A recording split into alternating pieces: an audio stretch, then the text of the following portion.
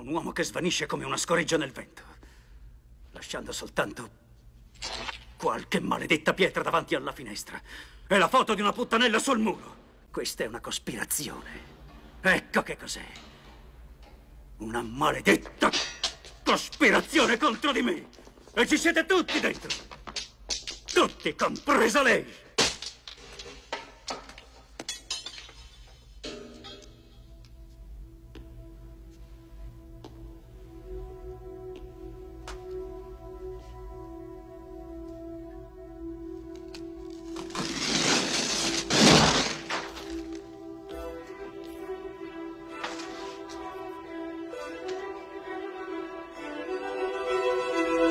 1966 Andy Dufresne evase dalla prigione di Shawshank. Di lui trovarono solo la divisa da prigioniero infangata, una saponetta e un vecchio martello da roccia ridotto ormai a un mozzicone.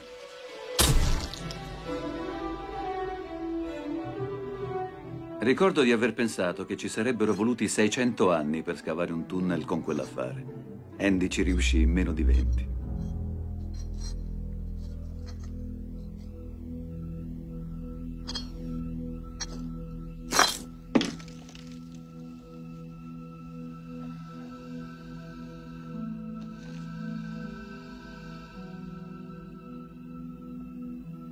Andy era appassionato di geologia. Credo che fosse per via della sua natura meticolosa. Le ere glaciali, le derive dei continenti.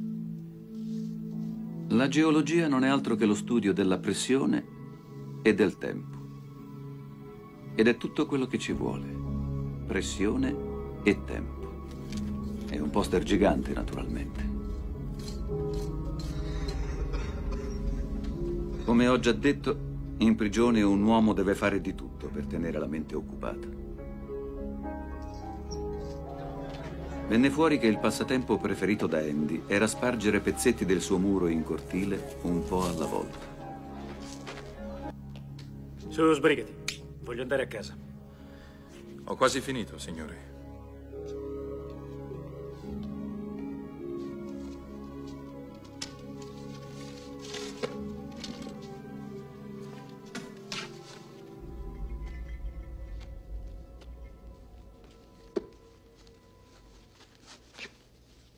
Tre depositi da fare.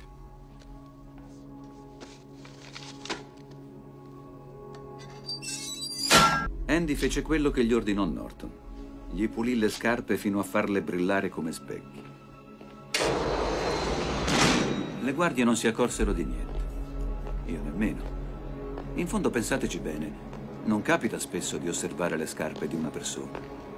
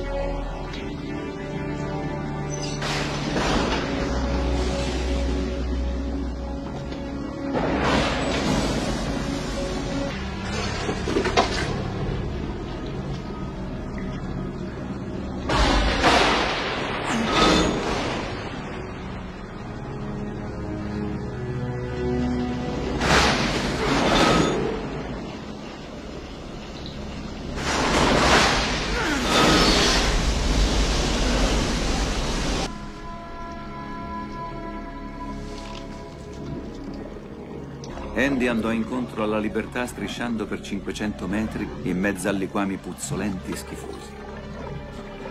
Strisciò per 500 metri. È la lunghezza di cinque campi di football. Mezzo chilometro di merda.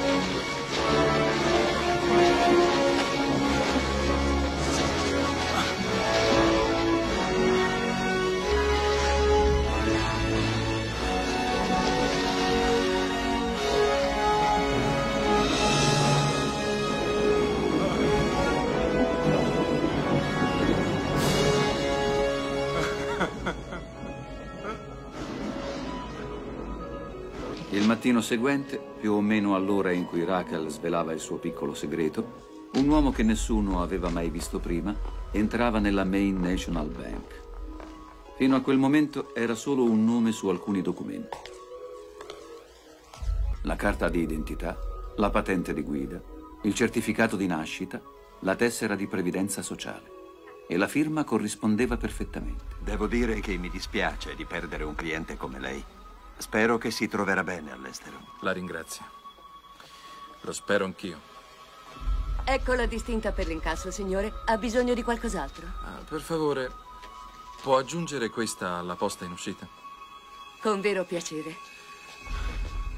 Buona giornata. Buona giornata, arrivederci. Il signor Stevens visitò una decina di banche a Portland quella mattina. Alla fine si portò via qualcosa come 370.000 dollari, l'intero capitale accumulato da Norton. Caro direttore, aveva ragione. La salvezza è qui dentro.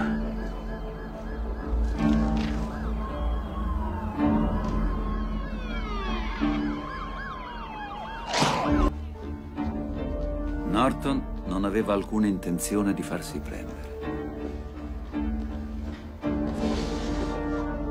Samuel Norton, abbiamo un mandato di cattura, apra la porta. Norton!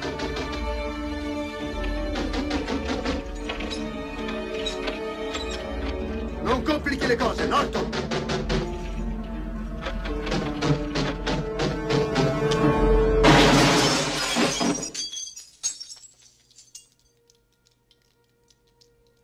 Mi piace pensare che l'ultima cosa che gli passò per la testa, oltre al proiettile, sia stato il pensiero che Andy fosse riuscito a fregarlo senza che lui ne avesse mai avuto il minimo sospetto.